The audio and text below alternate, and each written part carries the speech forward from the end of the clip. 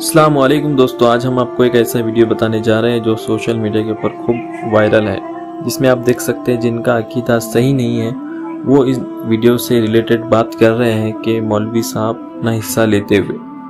आखिर इन लोगों से उम्मीद भी यही रख सकते हैं, जहर उगलने वाली ये बात करते हैं, नफरत फैलाने वाली बात ये करते हैं, और यही वीडियो को ये उल्टा सीधा तोड़ मरोड़ कर मुसलमानों के खिलाफ ऐसे वीडियो को चलाते हैं।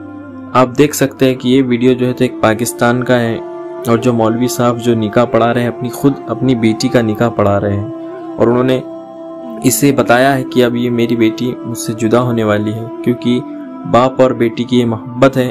इस वीडियो को लोगों ने उल्टा सीधा तोड़ मरोड़ कर मुसलमानों के खिलाफ ऐसे वीडियो बनाए और इसे वायरल करते हैं।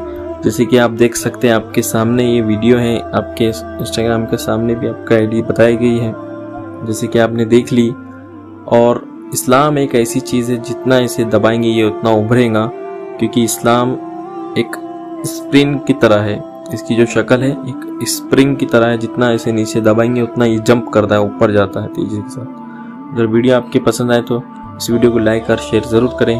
फिर मिलेंगे अगले वीडियो में। अल्लाह हाफिज़।